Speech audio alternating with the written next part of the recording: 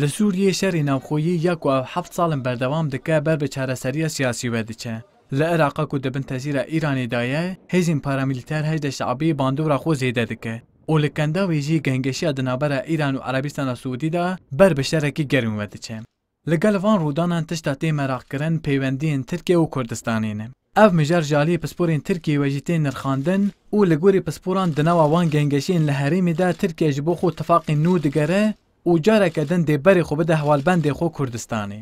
Bi bûçûna pisporê têkiliyên derve akademisyen Bûrhan Kêroğlu ji ber polîtîkayên Îranê yên li Iraqê, û zêdebûna bandora hejdeh şabî, Tirkiye ji bo dahatuya herêmê pêwendiyên xwe dê li gel Kurdistanê dirust bike.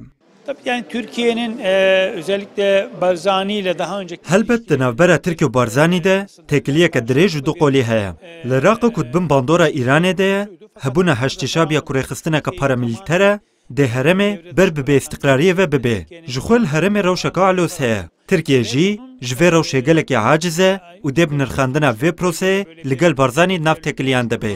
Hikûmeta Iraqê jî li beramberî vê rewşê dê polîtika xwe ya li hemberî Herêma Kurdistanê biguherîne.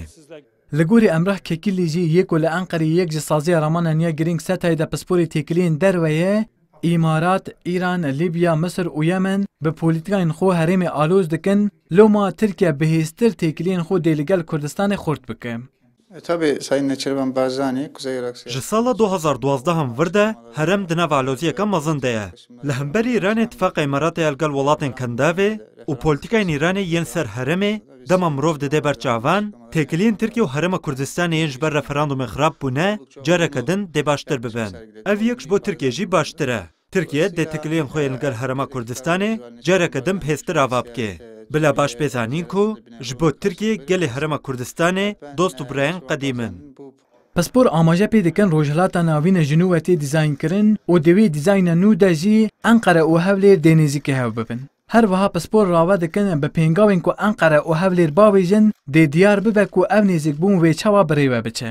Vural Erîşmîş, Kurdistan bîst û çar, Enqere.